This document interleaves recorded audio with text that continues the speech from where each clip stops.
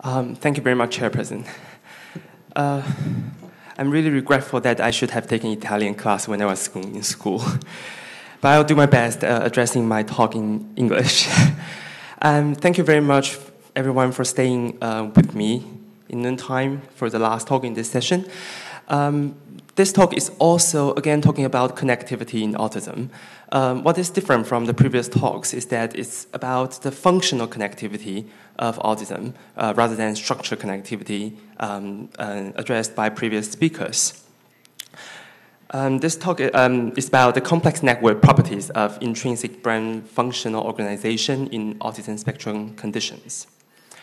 So the first question, the first research question is, why do we apply network analysis?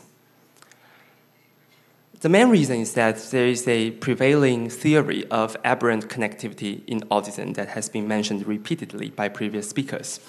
Um, it's mainly addressed by task function MRI studies that um, people found under connectivity in task related conditions using task evoked function MRI studies. Also, in resting state function MRI studies, people noticed um, disconnectivity or reduced connectivity within the default network using seed-based approach. Also, in EEG or MEG study, people found reduced um, synchronization. All of these are some kind of evidence supporting there are problems with connectivity. But what kind of problem is it? There are also some theories about um, increased local connectivity, which results in decreased global connectivity. The second theoretical um, inspiration for our study is that we have already known that um, the brain is actually organized in a small world network. So we can apply network analysis based on small world um, network properties uh, to, to look at the intrinsic functional organization or structural organization of the brain. Um, Given the heterogeneity of subjects with autism, we have to be aware that this study is performed on adults with autism, and they're all high functioning adults with average intelligence. So this might be different from um, the, the studies of previous speakers. It's mainly on low functioning um, adults or children with autism. Uh, we have um, 30 autism spectrum condition um, participants who were diagnosed with Asperger syndrome or high functional autism, and 33 neurotypical controls. Um, their diagnoses were all conf confirmed again by ADIR. Um, they're matched by their age and all the scales of IQ. We took um, resting state function MRI. Uh, with a very long, actually very long scanning sessions, about 14 minutes, and we took 620 um, time points in order to tackle the very low frequency um, oscillations of the brain. All the participants were instructed to be having her, uh, their eyes closed, but not to fall into a sleep. And the participants are all male. Um, then the data are preprocessed in this way. We took the whole brain data. This is a, a, whole brain exploratory approach. It's not a region of interest approach. So we parceled all the brain into 118 regions. Then we trimmed off eight regions that showed poor signal qualities, leaving 110 regions in the brain. Um, then these um, time series were, were um, transformed by discrete wavelet transformation and giving different uh, scale-specific correlation coefficients, correlation coefficient matrix, that helping us to understand the functional connectivity of the whole brain. And we're particularly looking at the lowest scales, lowest scales that we are confident enough to achieve, which is between 0.024 and 0.048 hertz. So here are the results. The first results we're looking at, uh, in general, what are the connectivity differences, or are there connectivity differences in a global or local level? Um, first, we look at different wavelet, uh, wavelet scales. These are actually different bands, frequency bands. Um, so as you can see, no matter what frequency band, there are actually no detectable global connectivity differences. Uh, we particularly looked at the very low frequency bands here, which is what I just mentioned, 0.024 to 0.048.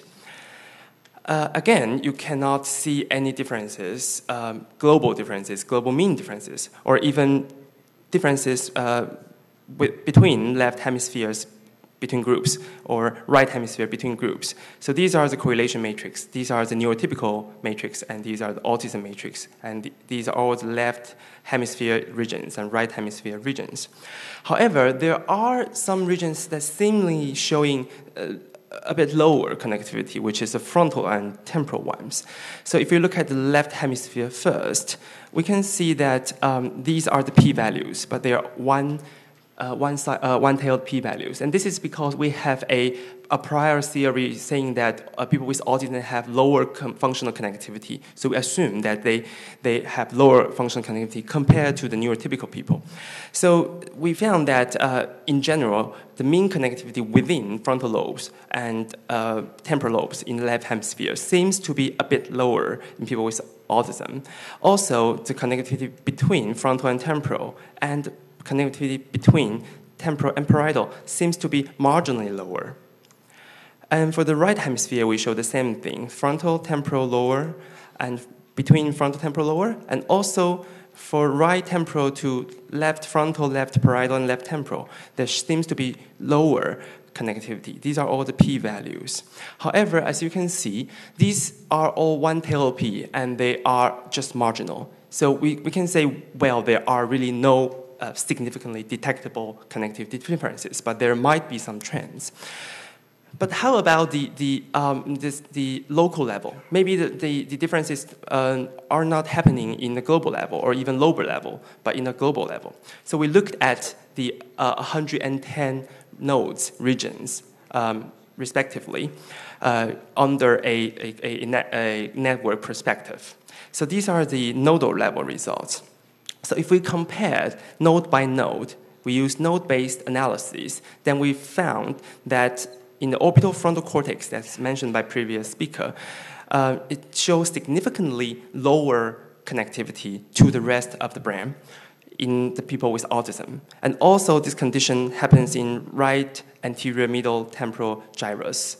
And here we use two-tailed P because um, we have no prior hypothesis on which nodes showing higher or lower connectivity in people with autism. The most significant result actually is using an edge-based analysis. So using the technical uh, technique called network-based statistics, we are able to identify a cluster of edges. Edge, an edge means a connection between two nodes. So a cluster of edges that show significantly lower functional connectivity in the group of autism compared to neurotypical. Um, most interestingly, these identified hypoconnected networks are all uh, centered on bilateral orbital frontal cortex. So it actually echoes the previous nodal results. And more significantly, these, the, mean, um, the mean connectivity within this network is negatively correlated to the childhood symptoms measured by uh, ADIR, um, the social subscale. Um, so that means the, for people with autism, the lower connectivity within this hyperconnected network, the higher childhood autism, the more severe childhood autism symptoms measured by ADR social subscale. So here are the first uh, interim summary. We cannot really confidently say there are global connectivity differences in functional connectivity networks between the two groups, but possibly there will be there are hypoconnectivity in frontal and temporal lobes, especially right temporal. Most significantly, there are hypoconnectivity in bilateral orbital frontal cortex and right anterior medial temporal gyrus, and particularly the connectivity from orbital frontal cortex. And these, these uh, connectivity showed a correlation with symptom scores.